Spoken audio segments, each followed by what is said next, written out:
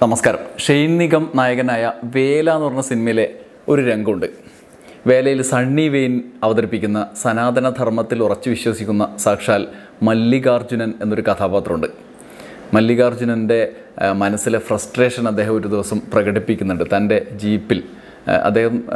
പോലീസാണല്ലോ അപ്പം പോലീസ് ഡ്രൈവറോട് തൻ്റെ ജീപ്പിലെ തൻ്റെ കീഴുദ്യോഗസ്ഥനായ ഡ്രൈവറോട് അത് പ്രകടിപ്പിക്കുന്നുണ്ട് എങ്ങനെയാണെന്നറിയോ അദ്ദേഹം പറയും ആ എസ് പി ഒരു രക്ഷയില്ല ഏതോ കാട്ടുവാസിയാണ് ഇപ്പോൾ അയാളെയൊക്കെ സല്യൂട്ട് ചെയ്യുന്ന സാറെന്ന് വിളിക്കുന്ന എൻ്റെ ഒരു ഗതികേട് എന്ന് പറയുന്ന ഒരു ഡയലോഗുണ്ട് അപ്പോൾ മൂപ്പര് ഡ്രൈവർ പറയുന്നുണ്ട് അദ്ദേഹം എല്ലാവരും പോലെ പിന്നെ പരീക്ഷയ്ക്ക് എഴുതി വന്നതാണല്ലോ തുല്യനാണല്ലോ എന്ന് പറഞ്ഞു പറയുന്നുണ്ട് അതൊന്നും സണ്ണീവിൻ്റെ കഥാപാത്രത്തിന് അങ്ങനെ ദഹിക്കുന്നില്ല എന്നാലും അയാളെ സല്യൂട്ട് ചെയ്യേണ്ടി വരുന്നൊരു ഗതികേടിനെ കുറിച്ചാണ് മല്ലിക ആലോചിക്കുന്നത് ഈ മല്ലികമാർ നമ്മുടെ കേരളത്തിലെ മുഖ്യധാര സമൂഹത്തിലും നമ്മുടെ പൊതുസമൂഹത്തിലും അവിടെ അവിടെ ഇങ്ങനെ ഒളിച്ചു കിടപ്പുണ്ട് അവരെപ്പോഴാണ് പുറത്തു ചാടുന്നത് പറയാൻ പറ്റില്ല ഈ ദിവസം നമ്മൾ ഏറ്റവും കൂടുതൽ ചർച്ച ചെയ്യപ്പെട്ട ഒരു വിഷയത്തെക്കുറിച്ച് പറയാനാണ് അതിലെ മല്ലികമാരുടെ സാന്നിധ്യത്തെക്കുറിച്ച് ഓർമ്മിച്ചു പോയത് ക്ഷേത്രപ്രവേശന വിളംബരത്തിൻ്റെ എൺപത്തിയേഴാം വാർഷികം ആഘോഷിക്കുന്ന ഒരു പരിപാടിയെക്കുറിച്ചുള്ള തിരുവിതാംകൂർ ദേവസ്വം ബോർഡിൻ്റെ ഒരു പ്രഖ്യാപനം വലിയ വിവാദമായി അവസാന നോട്ടീസ് തന്നെ പിൻവലിക്കേണ്ടി വന്നു അതിനെക്കുറിച്ചാണ് ഞാൻ ഈ വീഡിയോയിൽ പറയുന്നത് ആ നോട്ടീസിൻ്റെ ഗതി നമ്മുടെ കേരളം കുനിയാൻ അങ്ങനെയൊന്നും തയ്യാറല്ല മല്ലികമാർക്ക് മുന്നിൽ എന്നുള്ള പ്രതിഷേധത്തിൻ്റെ തുടർച്ചയായി സംഭവിച്ച ഒരു കഥയാണ് അത് ആ നോട്ടീസ് തന്നെ പിൻവലിക്കേണ്ടി വന്ന ഒരു കഥയാണ് നമ്മൾ അതിലേക്കാണ് വരുന്നത് നോട്ടീസ് കേരളത്തെ ആകെ അപമാനിക്കുന്ന തരത്തിലുള്ള ഒരു നോട്ടീസായിരുന്നു തിരുവിതാംകൂർ ദേവസ്വം ബോർഡാണ് നോട്ടീസ് ഇറക്കുന്നത് ഏറ്റവും രസം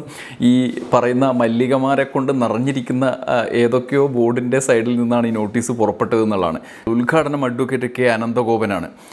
പ്രസിഡന്റ് തിരുവിതാംകൂർ ദേവസ്വം ബോർഡ് ഭദ്രദീപം തെളിയിക്കുന്നത് രണ്ടാളാണ് H H Pooyam Thirunal Gowri Lakshmi bhai Gowri Parvathi bhai H H Aswathi Thirunal Gowri Lakshmi bhai പിന്നെ കുറേ എച്ച് എച്ച്മാർ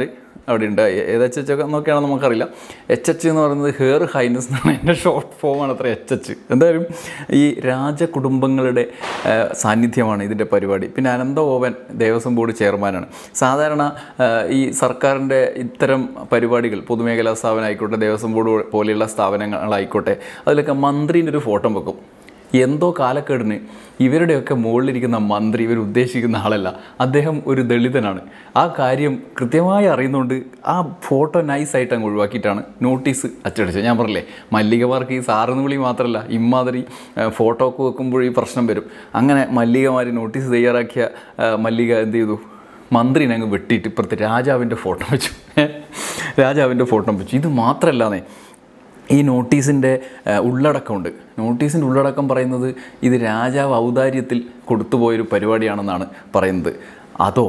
അതുകൂടാതെ ഇത് സനാതനധർമ്മം ഹിന്ദുക്കളെ ഉത്ബോധിപ്പിക്കാനുള്ള ഒരു പ്രത്യേക ദൗത്യം കൂടി ഏൽപ്പിച്ചിട്ടുണ്ട് കാരണം എൺപത്തേഴ് കൊല്ലമായിട്ട് ഈ മല്ലികയുടെ ഫ്രസ്ട്രേഷൻ ഉള്ളിൽ സൂക്ഷിക്കുന്ന ആളുകൾ നൈസായിട്ട് മറ്റത് തിരിച്ചു പിടിക്കാനുള്ള സാധ്യത അങ്ങ് നോർത്തിലേക്കൊക്കെ നോക്കുമ്പോൾ കാണുന്നുണ്ടല്ലോ അപ്പോൾ നൈസായിട്ട് സനാതനധർമ്മം ഉദ്ബോധിപ്പിക്കാനുള്ള ഒരു പരിപാടി കൂടിയാക്കി എൺപത്തിയേഴാം ഈ വാർഷിക പരിപാടി സനാതനധർമ്മം ഉത്ബോധിപ്പിച്ചാൽ എന്താ ഗുണം മറ്റേ ചാതുർവർണ്ണയം വീണ്ടും തിരിച്ചു കൊണ്ടുവരാമല്ലോ സനാതനധർമ്മത്തിൻ്റെ അടിസ്ഥാനം ചാതുർവർണ്ണയമാണല്ലോ അപ്പോൾ അങ്ങനെ സനാതനധർമ്മം ഉത്ബോധിപ്പിച്ചാൽ നമ്മുടെ പരിവാർ പ്രസ്ഥാനങ്ങളുടെയൊക്കെ പിന്തുണോട്ട് നൈസായിട്ട് നമുക്ക് നമ്മളെ പഴയ പരിപാടി തുടങ്ങാം എൺപത്തേഴ് കൊല്ലം ഈ പരിപാടി ഏതാ കണ്ട ജാതിക്കാരൊക്കെ കൂടി ഞങ്ങളെ ഈ ഫ്രസ്ട്രേഷനിലാക്കിയ മല്ലികമാരുടെ കുഴപ്പത്തിലാക്കിയ ഈ കാലഘട്ടത്തിൽ നിന്നുള്ളൊരു തിരിച്ചുപോക്കിന് സാധ്യതയുണ്ടെന്ന് കണ്ടുകൊണ്ട്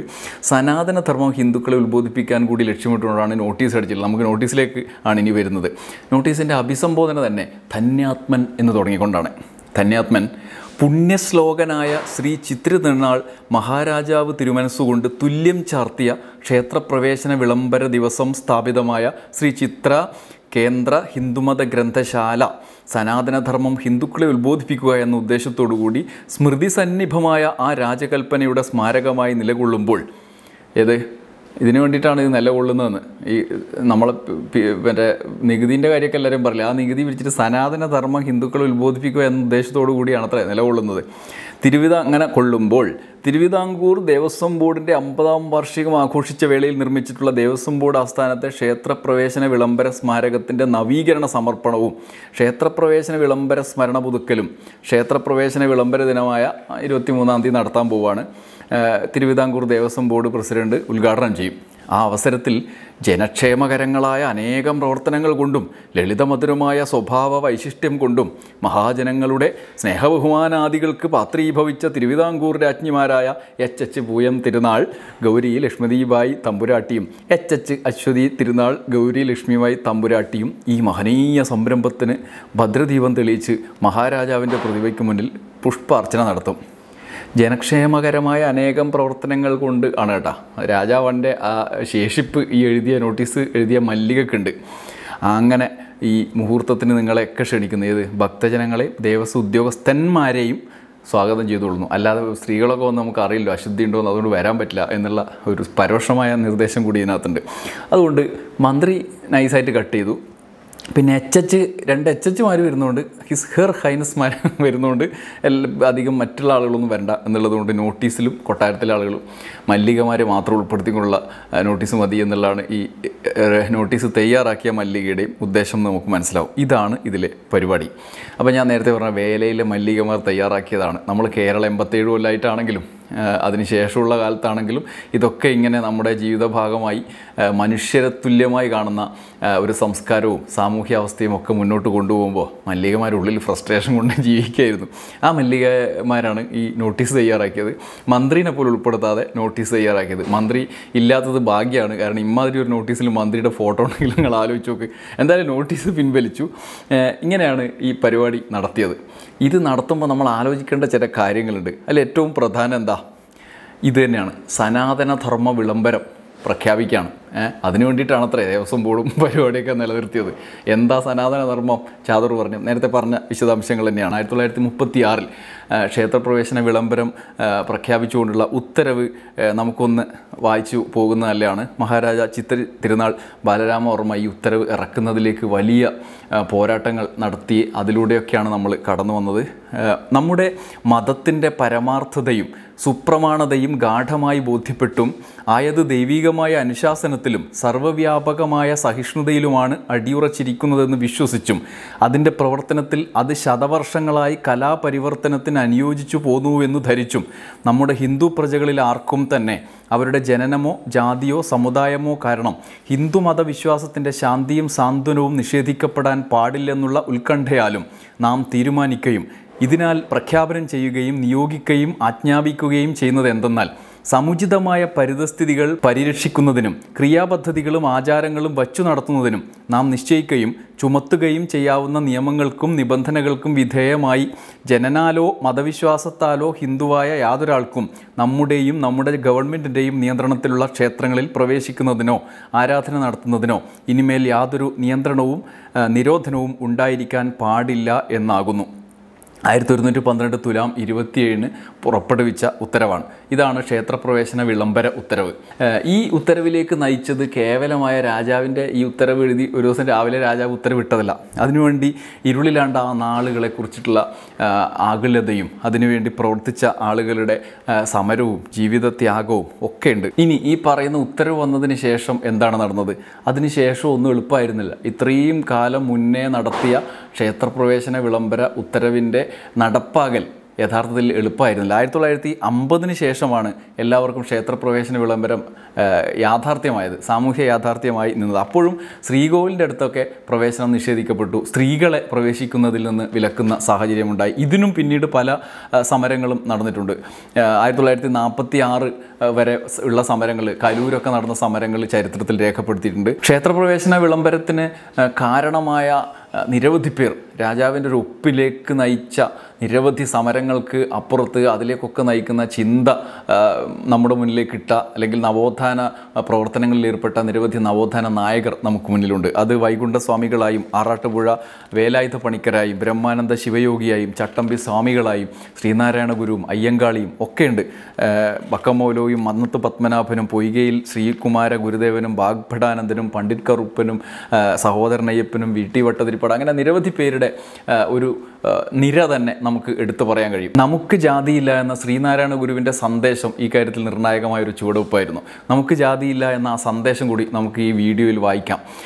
നാം ജാതി മതഭേദം വിട്ടിട്ടിപ്പോൾ ഏതാനും സംവത്സരങ്ങൾ കഴിഞ്ഞിരിക്കുന്നു എന്നിട്ടും ചില പ്രത്യേക വർഗ്ഗക്കാർ നമ്മെ അവരുടെ വർഗത്തിൽപ്പെട്ടതായി വിചാരിച്ചും പ്രവർത്തിച്ചും വരുന്നതായും അത് ഹേതുവാൽ പലർക്കും നമ്മുടെ വാസ്തവത്തിന് വിരുദ്ധമായ ധാരണയ്ക്കിടയാകുന്നുണ്ട് എന്ന് പറയുന്നു നാം പ്രത്യേക ജാതിയിലോ മതത്തിലോ ഉൾപ്പെടുന്നില്ല ഉൾപ്പെടുന്നതുമല്ല വിശേഷിച്ചും നമ്മുടെ ശിഷ്യവർഗത്തിൽ നിന്നും മേൽപ്രകാരം ഉള്ളവരെ മാത്രമേ പിൻഗാമികളായി വരത്തക്ക വിധം ആലുവ അദ്വൈതാശ്രമത്തിൽ ശിഷ്യസംഘത്തിൽ ചേർത്തിട്ടുള്ളൂവെന്നും മേലും ചേർക്കയുള്ളൂവെന്നും വ്യവസ്ഥപ്പെടുത്തിയിരിക്കുന്നതുമാകുന്നു ഏത് ജാതിയും മതവും ഉപേക്ഷിച്ച ആളുകൾ മാത്രമാണ് ശിഷ്യരായി വരാൻ അനുമതിയുള്ള ആളുകൾ എന്ന് അദ്ദേഹം പറയുന്നതാണ് ഇത്തരത്തിലുള്ള നിരവധി പ്രവർത്തനങ്ങൾ അദ്ദേഹം നേരിട്ട് തന്നെ പ്രവർത്തിച്ചു ഇത് ഉപേക്ഷിക്കുന്ന ജാതി ഉപേക്ഷിച്ച് മുന്നോട്ട് പോകാനുള്ള സാഹചര്യം പോലും ഉണ്ടായത് മറ്റു മതങ്ങളിലേക്ക് വ്യാപകമായി ആളുകൾ പോയതുമൊക്കെ ഈ സനാതനധർമ്മം പാലിച്ച ആളുകളുടെ പല കയ്യിലിരിപ്പ് കൊണ്ടാണ് അങ്ങനെയുള്ള കയ്യിലിരിപ്പുകൾക്കെതിരെ പോരാടി നേടിയൊരു ഒരു വിജയമാണ് ക്ഷേത്രപ്രവേശന വിളംബരം അതിനുശേഷമാണ് നമ്മൾ ഇപ്പോൾ ചെന്നെത്തി നിൽക്കുന്നത് അതിൻ്റെ ആഘോഷമാണ് അങ്ങനെ ഒരു ആഘോഷം എൺപത്തി ഏഴാം വാർഷികം ആഘോഷിക്കുമ്പോഴാണ് ജനാധിപത്യ സർക്കാരിൻ്റെ ഒരു ഒരു സംവിധാനം എച്ച് എച്ചുമാരെയും സനാതനധർമ്മത്തെയും ജാതീയ പഴയ മേൽക്കോയ്മ ബോധത്തെയും മല്ലികമാരായി അവതരിച്ചുകൊണ്ട് കൊണ്ടാടാൻ ശ്രമിക്കുന്നത് നമ്മൾ പറഞ്ഞ വേലയിലെ മല്ലികമാരായി ഇവർ വീണ്ടും വരുന്നത് എന്തായാലും കേരളം അങ്ങനെയൊന്നും കുനിയാൻ തയ്യാറുള്ള ആളുകളല്ല എന്ന് ഈ വിഷയത്തിൽ വളരെ ചെറിയ നോട്ടീസാണ് എന്നൊക്കെ നമുക്ക് തോന്നുമെങ്കിലും ഈ മല്ലികമാരെ തോപ്പിക്കാൻ ഒരേ ശബ്ദത്തിൽ ആളുകൾ ഇറങ്ങി നോട്ടീസ് പുറത്തു വന്ന ഉടനെ തന്നെ നമുക്ക് സാമൂഹ്യ മാധ്യമങ്ങളിലൊക്കെ സാധാരണ മനുഷ്യർ വലിയ തോതിൽ അവരുടെ ഉള്ളിലെ രോഷം പ്രകടിപ്പിച്ചു ആ രോഷപ്രകടനത്തിന് ജാതി മത ഭേദമൊന്നും ഉണ്ടായിരുന്നില്ല നമ്മുടെ അഭിമാനത്തെ പ്രണമേൽപ്പിക്കുന്ന ഒരു നോട്ടീസ് നമ്മൾ നികുതി അടച്ച് നമ്മൾ വോട്ട് ചെയ്ത് സ്ഥാപിച്ച ഒരു സർക്കാരിൻ്റെ പ്രാതിനിധ്യത്തിലുള്ള ആളുകളിൽ നിന്നുണ്ടാവുക എന്നുള്ളതിൻ്റെ രോഷമാണ് അതിനകത്ത് കണ്ടത് അത് പിന്നീട് എല്ലാവരും ഏറ്റെടുത്തു നമ്മൾ എന്തൊക്കെ പറഞ്ഞാലും രാഷ്ട്രീയ നേതൃത്വത്തിലും അതിന് എതിരായി നിലപാടെടുക്കുന്ന പരസ്യമായി പ്രഖ്യാപിക്കുന്ന ആളുകളുണ്ടായി എന്നുള്ളത് നമുക്ക് അഭിമാനകരമാണ് മന്ത്രി കെ രാധാകൃഷ്ണൻ ഇതുമായി ബന്ധപ്പെട്ട് അപ്പം തന്നെ രംഗത്ത് വന്നു പെട്ടെന്ന് മനസ്സിൽ പോകുന്നില്ല മനസ്സിൽ നൂറ്റാണ്ടുകളായി ചേർന്നിരിക്കുന്ന ഒരു സാധനം ഒരു ദിവസം കൊണ്ട് ജാതി പറിച്ചു കളയാൻ പറ്റുമോ ജാതി ചിന്ത പോകാൻ പറ്റുമോ അത് മനസ്സിൽ കൂടിയിരിക്കുകയാണ് ആയിരം നൂറ് നൂറ്റാണ്ടുകളായി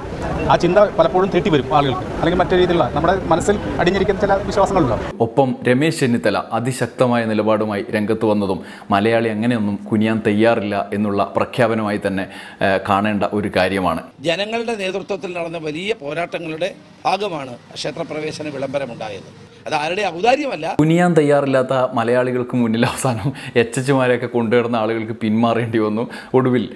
ഈ പ്രഖ്യാപനം ഉത്തരവിട്ട ആളുകൾ തന്നെ അത് പിൻവലിച്ച